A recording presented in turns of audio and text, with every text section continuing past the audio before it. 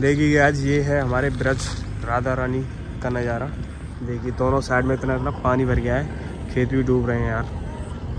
बागई में बहुत ज़्यादा पानी भरा हुआ है। अभी चल रहे हैं अंदर अंदर का नज़ारा दिखाते हैं अभी आपको। हमारी ये दोस्तों ये देखिए आधी आधी बाइक डूब चुकी है यहाँ पे ये देखिए। ये राधा रानी का नज़ारा है ये वहाँ गए थे चिंतारण घाट पे वहाँ पे भी इतना पानी नहीं है जितना राधा रानी पे आ गया है पानी। क्योंकि यहाँ पे जमुना जी पास में ही है राधा रानी से। से पूरा पूरा पानी खेतों में आ गया है ये देखिए। क्या हालत हो रही है यहाँ पे?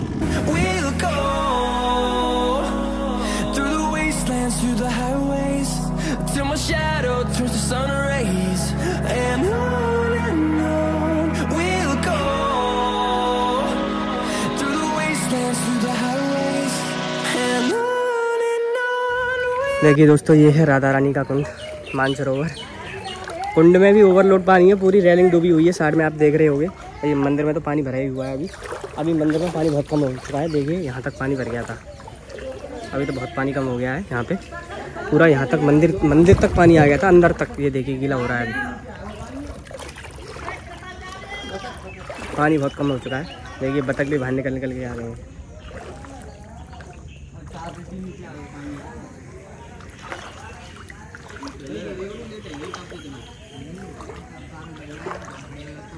ये देखिए, कुंड की सारी सीढ़ियाँ डूबी हुई हैं।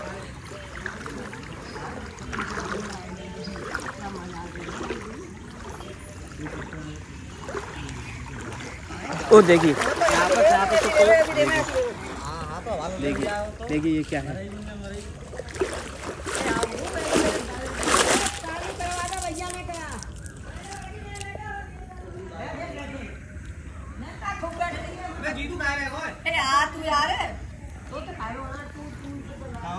सांप है सांप?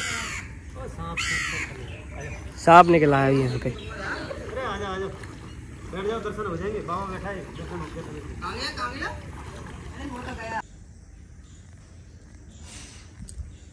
आइए दोस्तों मेरे साथ आइए मैं दिखाता हूँ चल चल निकल लो नहीं संग में आराम का सब्ज़ी दे के आराम से। आ जाओ।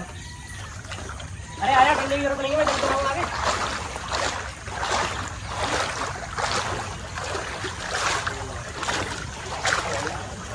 देखते हुए आना नीचे बस। क्योंकि सांप की बहुत यहाँ पे कछुए भी आ चुके हैं। उनमें से मछली भी आ गई है यहाँ पे।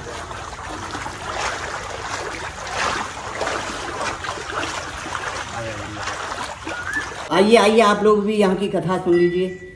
ऐसा मौका आपको कभी नहीं मिलेगा। जी जी। हाँ। बोलिए जय जय। श्याम श्याम श्याम। देखो यमुना किनारे बंसी बट पर महाराज हो रहा था। महाराज में अनलिमिटेड अनगिनत गोपियाँ भाग ले रही थीं। उनके पैरों में पायल और घुंघरू बंधे थे।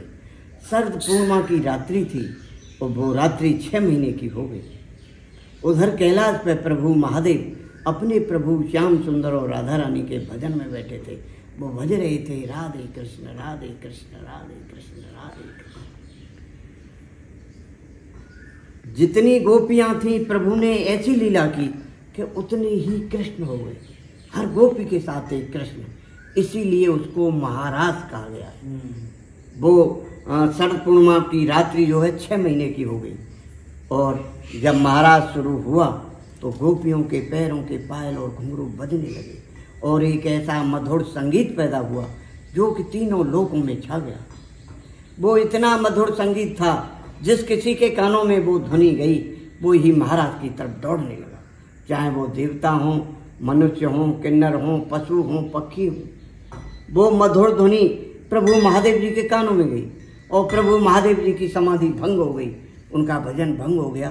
तब प्रभु महादेव जी ने सोचा, विचार किया कि इतनी मधुर ध्वनि कहाँ से आ रही है, जो कि मेरे भजन को भंग कर रही है और ये ध्वनि मुझे अत प्रिय लग रही है। तब प्रभु महादेव जी ने अपने विवेक से पता लगाया कि अरे ये तो यमुना किनारे बंसी भट्ट पर महाराज हो रहा है और वहाँ मेरे प्रभु सिंहासन पर विराज रहे हैं। मैं भी चलूँ, अपने प्रभु का दर्शन करूँ और महाराज का आनंद लूँ। माता पार्वती और प्रभु महादेव वहाँ से तुरंत चल दिए और उस जगह आए जहाँ महाराज हो रहा था। वहाँ महाराज के चारों तरफ़ दो गोपियाँ पहरा दे रही थीं, ललता और विशाखा।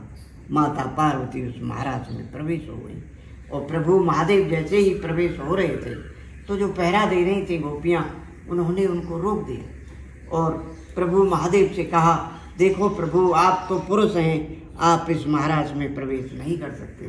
क्योंकि इस महाराज में सभी गोपियाँ गोपी रूप में जनानी हैं। पुरुष तो अकेले प्रभु श्याम सुंदर हैं इस महाराज में।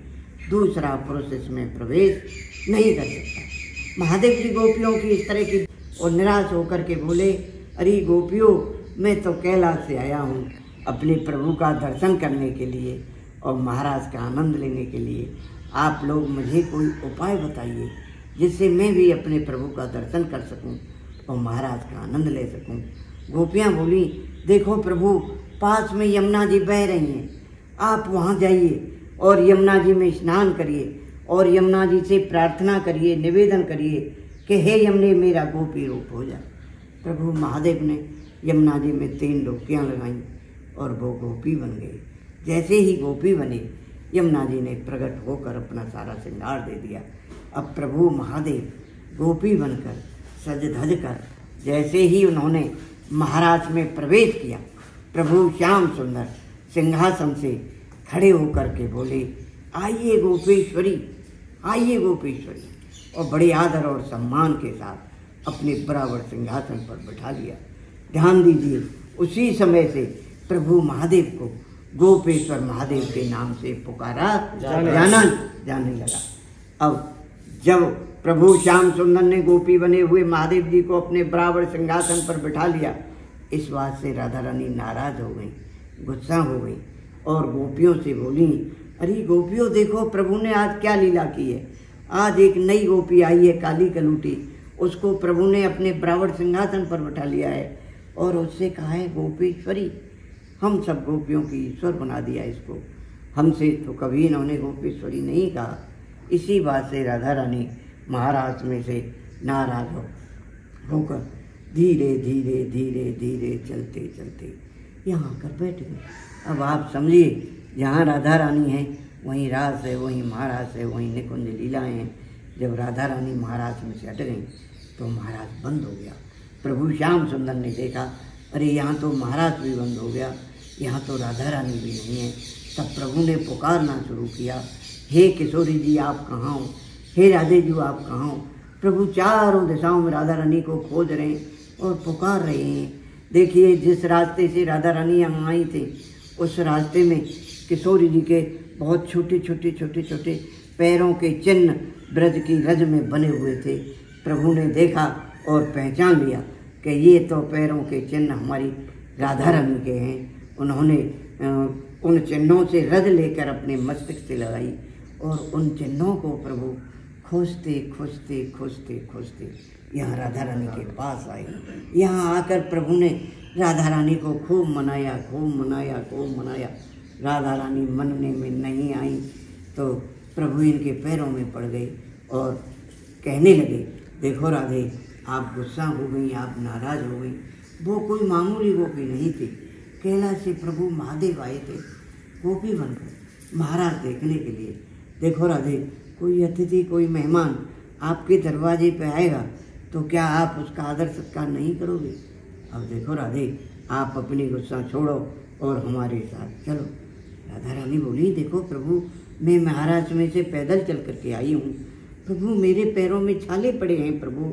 प्रभु, मैं बहुत ज़्यादा थकी हुई हूँ। अब प्रभु मुझसे नहीं चला जाता। तब प्रभु श्याम सुंदर बोले अच्छा राधे, आपके पैरों में छाले हैं। आप बहुत ज़्यादा थकी हुई हो, आप चल नहीं सकती हो। तो आप हमारे कंधे पर बैठ जाओ। जैसे ही राधा रानी प्रभु श्याम सुंदर के कंधे पर बैठने को होती हैं, प्रभु अंतर ध्यान हो जाते हैं। जब प्रभु अंतर ध्यान होते हैं तो राधा रानी प्रभु की याद कर करके खूब रोती हैं, मेरी श्याम कहाँ गई? मेरी कन्हैया कहाँ गई? और राधा रानी के अश्वधारा से ये जो सरोवर है मान सरोवर। मान सरोवर। ये राधा रानी के अश्वधारा से भरा हुआ सरोवर है। राधा रानी ने यहाँ मान किया और मान करने से उनके आंसुओं से ये सरोवर भरा है। इसी से इसको मान सरोवर कहा गया है। यहाँ प्रभु राधा रानी के पास अपनी बंसी और मुकुट छोड़कर द्वारका चले गए। द्वारका में आपको बंसी और मुकुट का दर्शन नहीं होगा। मुकुट और दर्श बंसी का दर्शन नीचे जो राधा रानी का मंदिर है उसमें होगा। और देखिए, ये बड़ी पवित्र भूमि है, तपस्या की भूमि है, प्रेम की भूमि है, भक्ति की भूमि है। जब कभी भी आपको यहाँ आने का सौभाग्य मिले तो देखिए, इस सरोवर में स्नान करो। तो पाँच छींटे अपने ऊपर ज़रूर डालिए। आचमन करिए। अपने नेत्रों से लगाइए। इस मान सरोवर में स्नान करने से राधा रानी का दर्शन करने से मनोकामनाएँ तो पूरी होती ही हैं। कलयुग के कष्टों, पापों से भी छुटकारा होता है। बोलिए जय जय जय श्री राधे जय जय श्री राधे श्याम श्याम ये बड़ी पवित्र कथा है मन और आत्मा दोनों को पवित्र कर देने वाली कथा है जय जय श्री राधे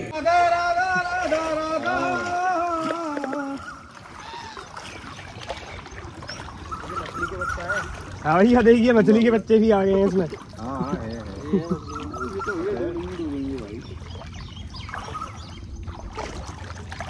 देखिए दोस्तों, वो दिख रहा होगा आपको, कछुआ भी है यहाँ पे।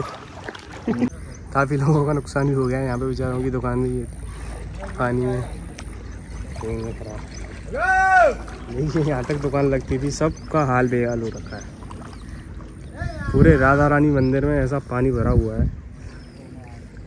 कुछ भी नहीं दिख रहा भाई, पार्किंग वार्किंग सब डूबी हुई है।